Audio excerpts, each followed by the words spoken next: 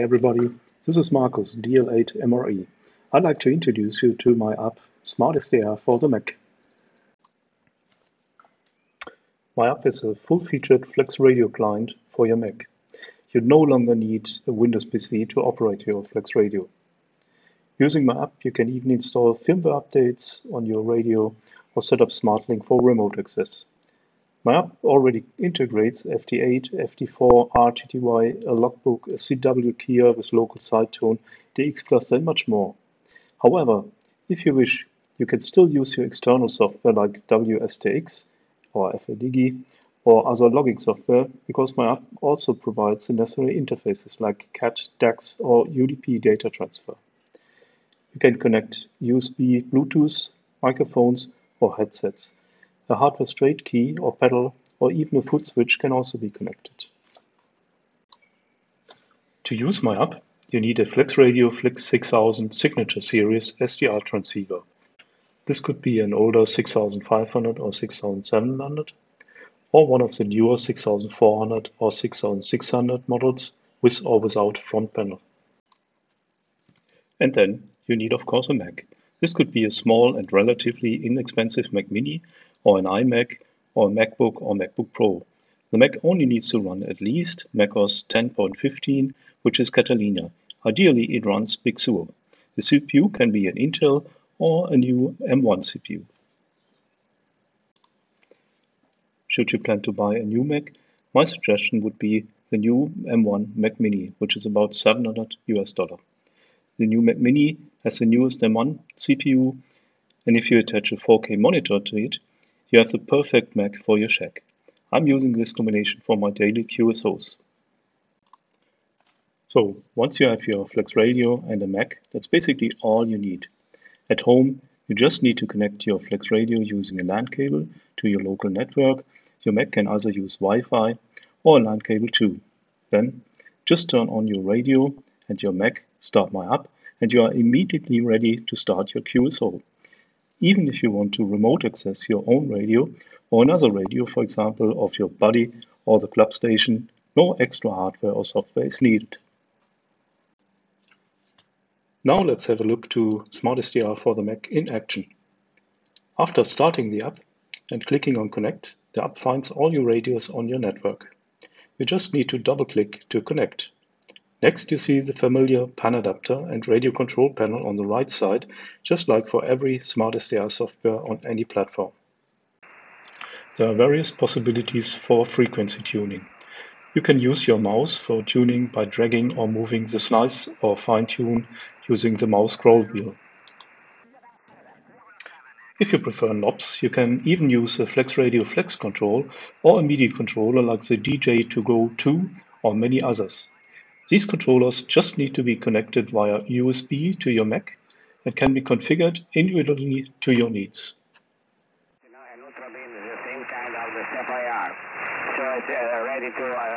For audio transmission, you can connect any USB or Bluetooth headset to your Mac. To my surprise, I found Apple AirPods Pro working pretty well and often much better than expensive legacy analog headsets.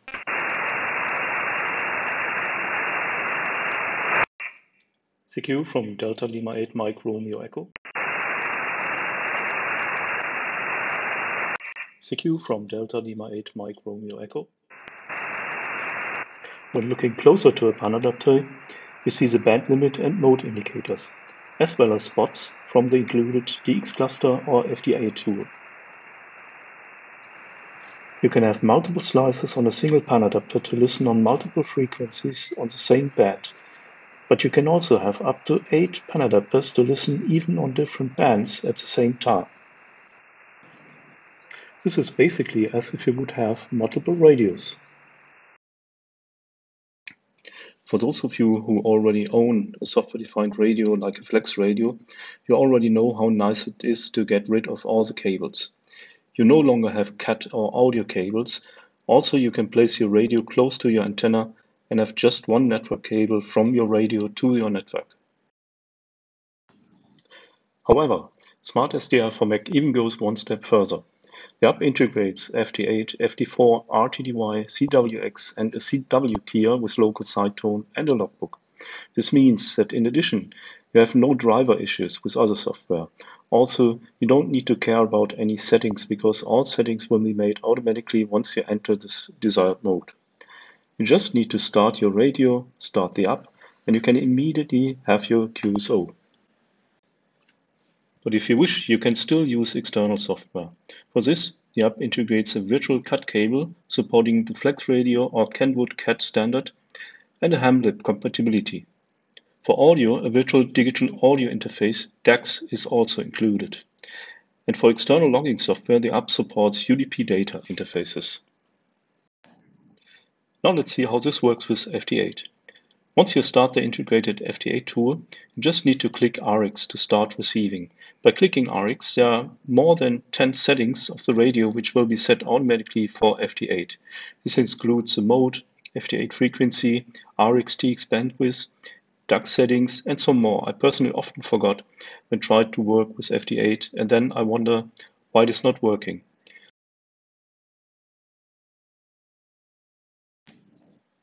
After seeing the first station coming in, you can open a map or globe which shows the locations of these stations.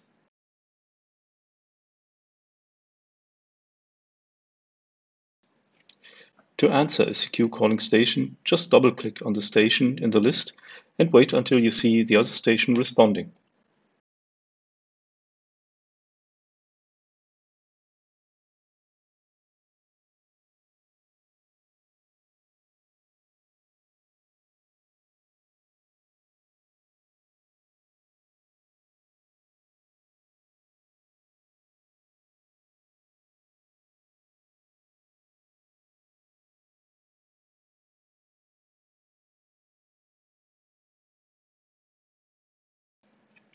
With the exchange of the 73s at the end, the QSO is finished and should have been logged. So let's have a look to the integrated logbook. And here we see that the QSO has indeed been logged. Now let's see to whom we talk to. His name is Takis. Takis should not wait too long for his QSL, so I use the integrated LOTW integration to send him my QSL.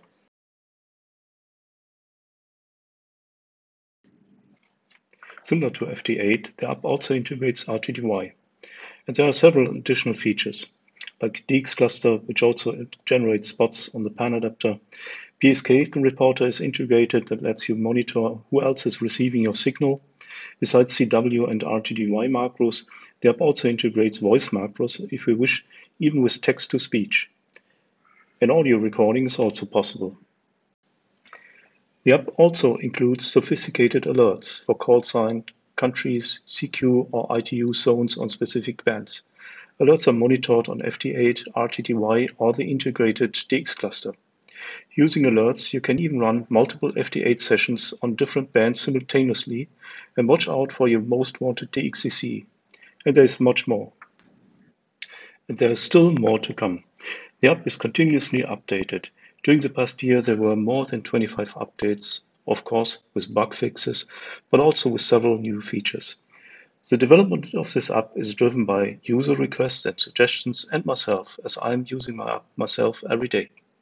For example, you can expect more digi modes. The next version will get a WeatherFax or HFFax decoder, for instance. Since I'm no longer using any other logging software, you can expect further improvements of the logbook. I'm also already working on additional tools.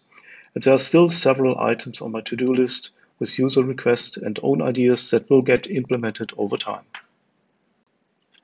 SmartSDR for the Mac can be purchased on the Mac App Store. The price is 160 US dollar. As with all macOS or iOS apps, updates are always free of charge. There are no recurring costs, and all features are included in this price. If you own more than one Mac, the app can be installed on multiple Macs without paying again. SmartSDR is also available on iOS.